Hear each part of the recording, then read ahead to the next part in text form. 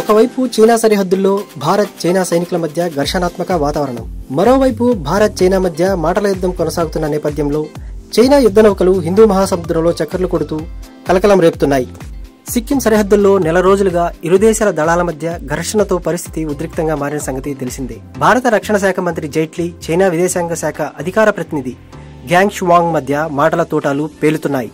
ఇప్పుడు భారత్ది పంతొమ్మిది వందల అరవై రెండు నాటి పరిస్థితి కాదు అని జైట్లీ వ్యాఖ్యానించగా అవును చైనా కూడా అప్పటి చైనా కాదనే విషయాన్ని గుర్తుపెట్టుకోవాలని గ్యాంగ్ షువాంగ్ హెచ్చరించారు. భారత్ చైనా సరిహద్దు చర్చల ప్రతినిధి అయిన జాతీయ భద్రతా సలహాదారు అజిత్ దోవల్ జులై ఇరవై ఆరున బ్రిక్స్ దేశాల ఎన్ఎస్ఏల సమావేశానికి హాజరు కానున్నారు ఆ సమయంలోనే చైనా ఎన్ఎస్ఏ యాంగ్ జీచీతో సిక్కింపై చర్చించే అవకాశం ఉంది. చైనా సరిహద్దుల్లో ఉన్న సిక్కిం పంతొమ్మిది వందల డెబ్బై ఆరులో భారత్లో అంతర్భాగమైంది. పద్దెనిమిది వందల తొంభై ఎనిమిదిలో చైనాతో చేసుకున్న ఒప్పందాల ప్రకారం సిక్కిం సరిహద్దులను నిర్ణయించారు. సిక్కింలో చైనా రోడ్డు నిర్మాణాన్ని భారత్ అడ్డుకోవడం మోడీ అమెరికా పర్యటనలో ట్రంప్ను ఆకట్టుకునేందుకేనని చైనా మీడియా గ్లోబల్ టైమ్స్ పేర్కొంది. ఇలాంటి మరిన్ని ఇంట్రెస్టింగ్ అప్డేట్స్ కొరకు మా ఏపీ న్యూస్ ఆన్లైన్ ఛానల్ను సబ్స్క్రైబ్ చేసుకోండి.